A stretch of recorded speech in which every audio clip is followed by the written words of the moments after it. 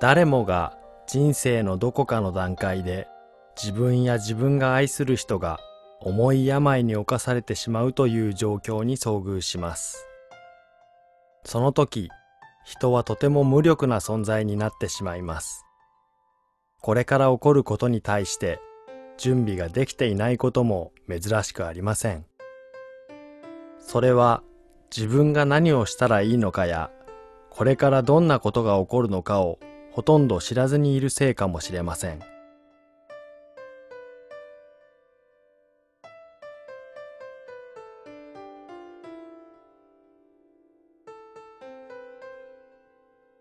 そしてそれは自分にとって大切な人と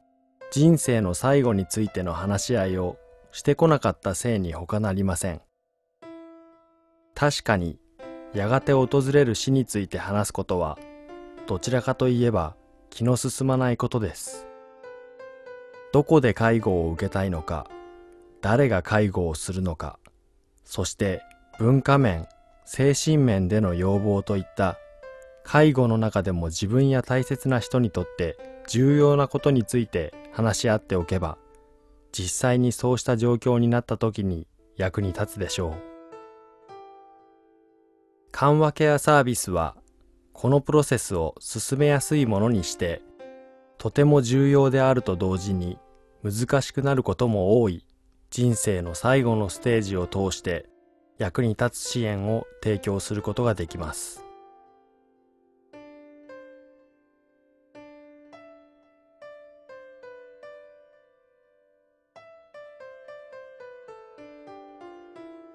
緩和ケアサービスは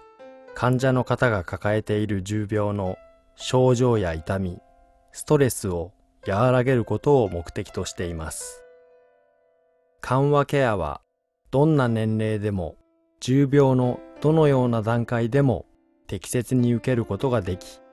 病気を治すための治療と並行して受けることも可能です。緩和ケアサービスで受けられる支援は実践的なものや医療的なものから社会的、精神的、心理的、経済的なものまで様々です。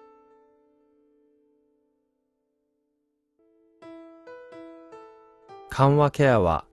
あなたやあなたが愛する人が重病に侵された時にできる限り能動的な生活を送れるようにする支援を提供しています。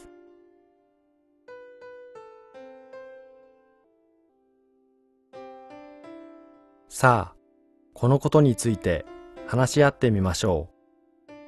伝えないままでいるには重要すぎることがあります。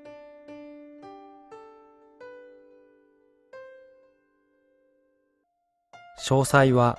緩和ケア情報提供ライン1800の660-055までお電話いただくか www. palcarevic.asn.au にアクセスしてご確認ください。